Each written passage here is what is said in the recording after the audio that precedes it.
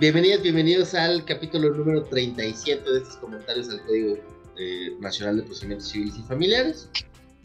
Como les comentábamos en el episodio anterior, ya estamos tratando de abordar todo de forma un poco más global y para eso nos toca ahora la sección segunda del, del título en el que estamos, que habla de sustanciación y decisión de competencias.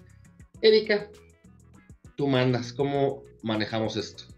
Pues primero que eh, eh, pues lo estamos haciendo así porque ya envejecimos con tantos capítulos y bueno, no sabemos si la vida nos alcance para seguir. Y luego, segundo, este es como el episodio como el como Star Wars, ¿verdad? Darío, que tú eres fan, ya no sé ni cuál vamos, mira, ahí está tu cuadro. Mira, la situación es, eh, que la primera pregunta que yo te haría, porque tú eres el gran profesor, la primera pregunta que yo te haría, Darío, es que de una lectura global de este capítulo de la competencia, ¿pensarías que el legislador en este código la competencia también la entiende como algo del principio dispositivo? ¿O ¿Qué pasa con la competencia en este código? Qué, buena pregunta. Eh, creo que digo, es un poco. Ahorita íbamos a arrancar en, el 9.4. Para la pregunta, sí lo conecto con los artículos anteriores y con esto. Eh, obviamente, es todo el apartado de la competencia. Eh, me parece que cuando se va uno a las reglas anteriores, a las de fijación de competencia, eh, más las excepciones que comentamos en el episodio anterior de la prórroga de la competencia. Y sumado a lo que está acá en cómo se solventan los conflictos de competencia, eh, es más o menos disponible la competencia. O sea, me, me parece que esta mitología del orden público en la competencia, el código tiene suficientes excepciones como para considerar que no es eh, indisponible. Es decir, pensaría, o, de entrada mi, mi opinión, Eric, es que si mantiene estas reglas tradicionales, vieja escuela de principios dispositivos en relación a la competencia. Y sobre todo se ve en el apartado del, de su sustanciación y decisión, porque termina habiendo muchas formas de validar la posible o presunta incompetencia de un órgano jurisdiccional a cambio de que se hayan sometido básicamente las partes al, juzgado. No sé, esta es así, primera observación. ¿A ti qué te parece?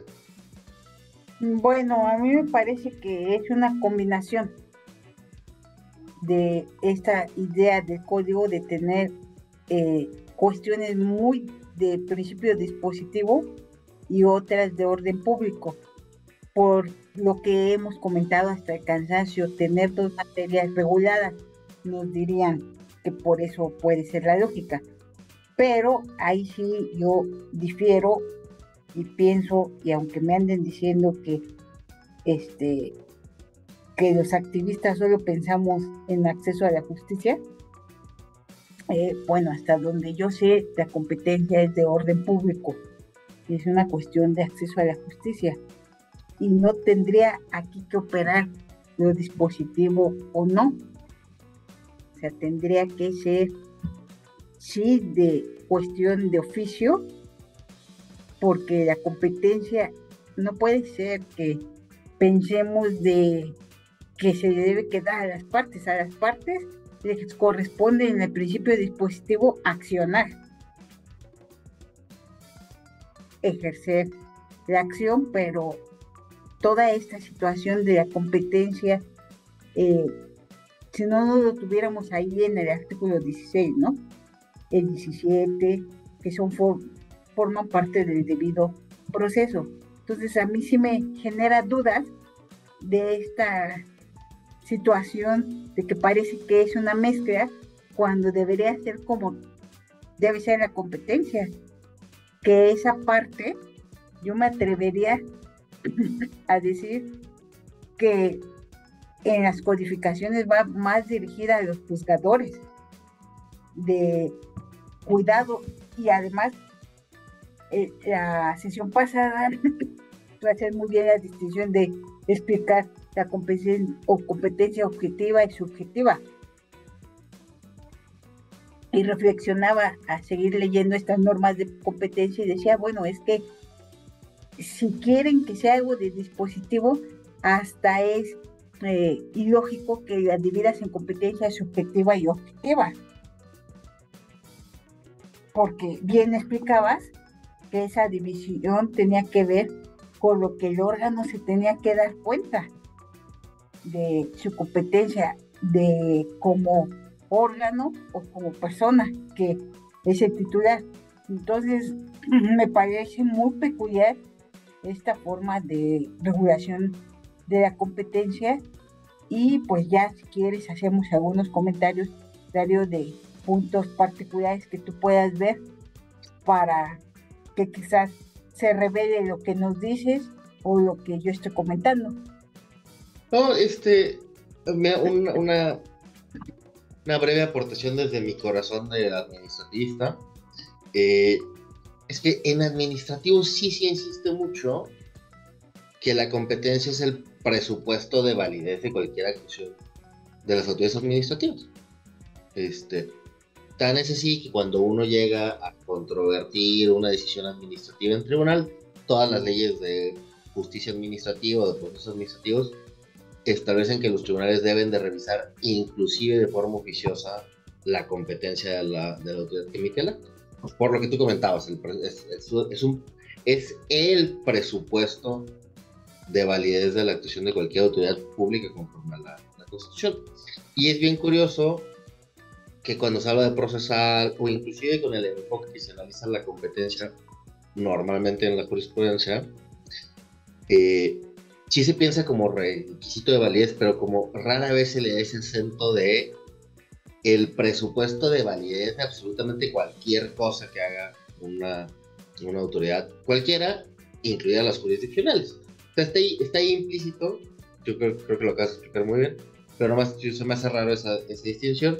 Y como, como no te decía, es que eh, sí, yo estaría de acuerdo, o sea, yo estoy de acuerdo contigo, con toda mi versión bastante distinta del proceso, que la competencia no debe ser disponible entre las partes para el grueso de las cosas, salvo que consideremos cosas que no sean de interés.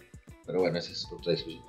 Pero lo que te decía, por ejemplo, el artículo 98 es bien curioso porque termina siendo básicamente disponible toda la competencia, porque dice, en caso de no promoverse cuestión de competencia alguna dentro de los términos señalados, se considera sometida a la autoridad jurisdiccional que le empezará y perder todo derecho para Entonces, esa es una norma que más o menos termina validando cualquier modificación de las reglas de competencia, de definición de competencia que se encuentran arriba.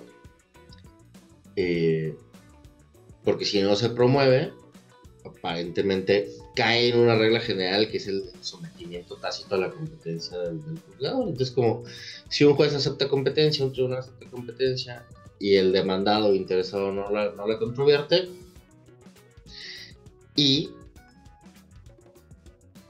parece ser que está esta disposición expresa también en este capítulo donde los tribunales, jueces, juezas no pueden estar verificando, promoviendo cuestiones de competencia por sí. Es decir, si alguien aceptó la competencia, puede ser, aparentemente puede ser juzgado equivocado, eh, materia equivocada, territorio equivocado y el sometimiento tácito de los demandados interesados.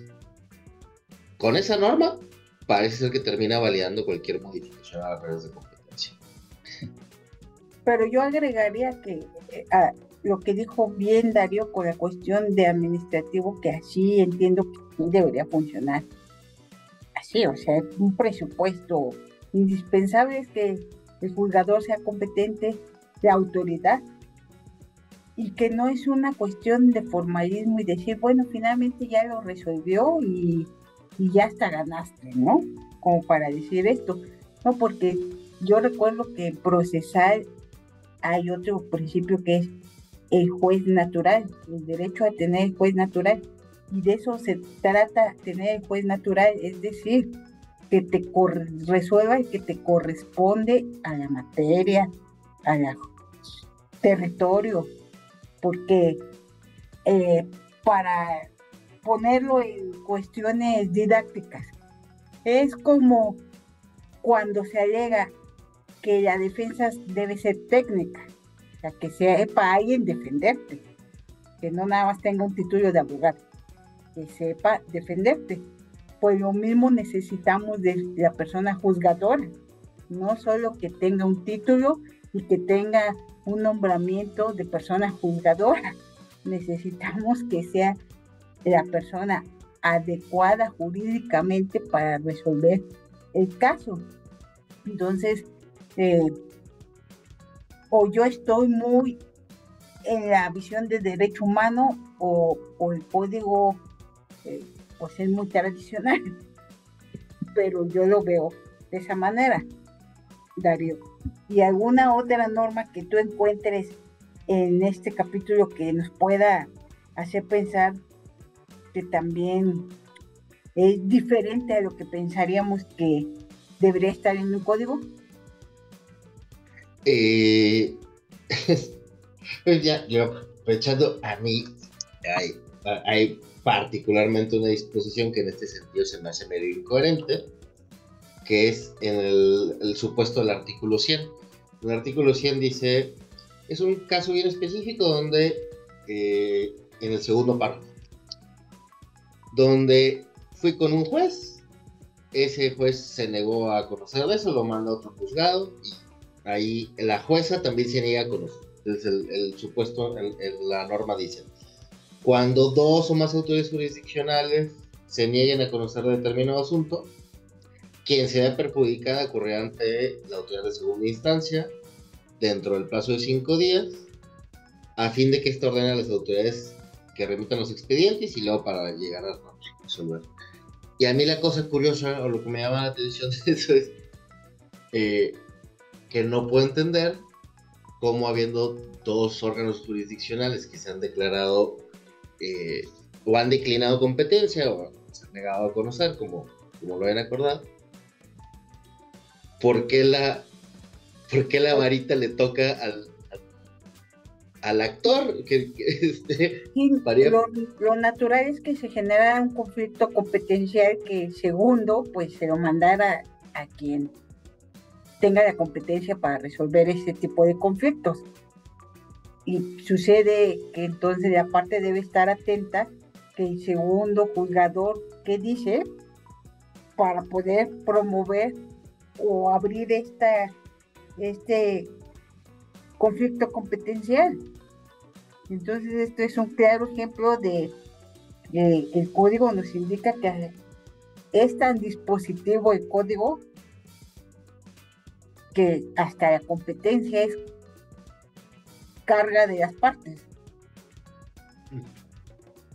Sí, sí, sí. O sea, ahí es donde porque, o así, eh, si se acuerda la gente que no soy, yo soy el más extremista, que todo le corresponde a las partes, pero hay cosas que le corresponden a los jueces, que es aceptar su competencia, o sea, es, porque además, rápido, pues parece ser que quede en el limbo si, si el actor no, o sea, de que no promueve eso, o sea, ¿cuál es la consecuencia que no promueve en cinco días?